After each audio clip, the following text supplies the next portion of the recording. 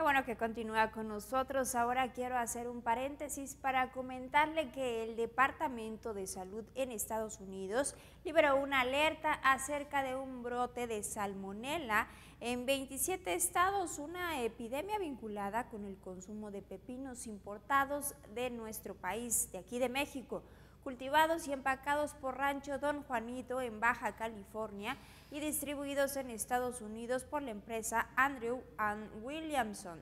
en cajas con el rótulo de edición limitada de pepinos marca Polo Ground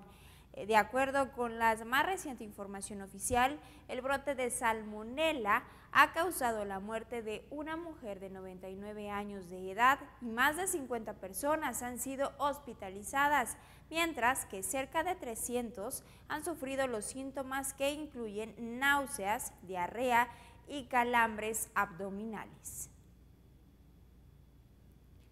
Déjeme comentarle que los bebés, los ancianos y las personas con sistemas inmunes debilitados son especialmente vulnerables al brote de salmonela y los pacientes que se han localizado se enfermaron en fechas que van de 3, del 3 de julio al 26 de agosto. El estado de Arizona es uno de los más afectados, pues se identificaron 66 casos hasta la semana que acaba de finalizar.